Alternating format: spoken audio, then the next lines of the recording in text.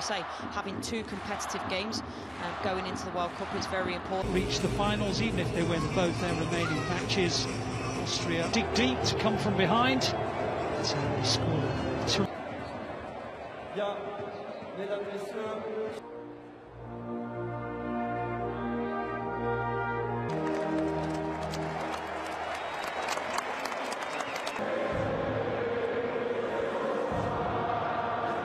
Were thoroughly enjoying the way in which the locals games played back in June. Goal against France in the meeting in Vienna in June in the trucks. Moran and Allen on a tightrope in terms of the visitors who get things underway. This is sure to be extremely watched. Is being played, so in terms of when the, the manager get the first strike in anger, and they almost do. And they're going to score as well. They look for a flag, but Mbappe celebrating. And he's just seen that there is a flag. to Look across to make sure, don't you? Yeah, I think sometimes you, you know in yourself as well. He's only playing half an hour every week for Atletico Madrid due to a close side have to try and repel a free kick guided in by France really so far. That's a great point. They did control possession. They were. Mbappe, Tchouameni. Well, he managed to get a shot away. It seemed that uh, it was impossible for him to do so, but he actually got decent purchase on it. I'm surprised.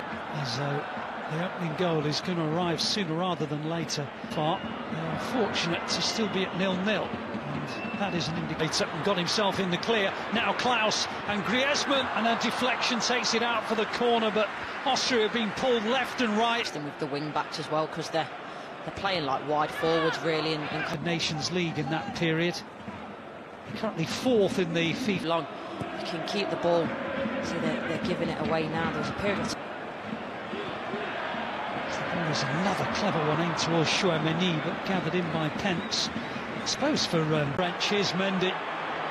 Towards Giroud, good header down, and Griezmann almost on the end of it. I tell you what, he brings so much to the party, Giroud. Griezmann, and he is an unselfish player. Don't forget, he does have a finish as well He's in the final squad.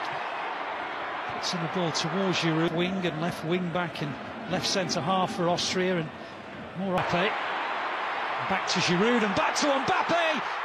Oh, I thought he was going to just tap it in for a very special goal, but he just found it going away from him. I think he took one too many touches. That's United tried to sign him in the summer, but Bologna were adamant. Found an equaliser as uh, Lienhart loses his footing at the. Mbappe now keeps on going and keeps on going and fires France into the lead just at the moment where Austria was starting to ask one or two questions, they lose the ball in midfield.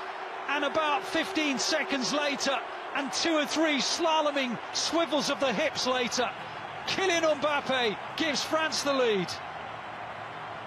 That is an absolutely ridiculous.